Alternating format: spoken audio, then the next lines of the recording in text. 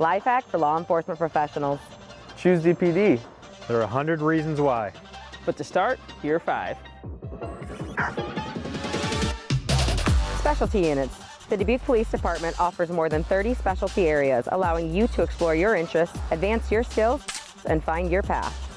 Our team, all 100 of us, we stand by one another in and out of the field, physically and emotionally, through some intense moments and times of laughter.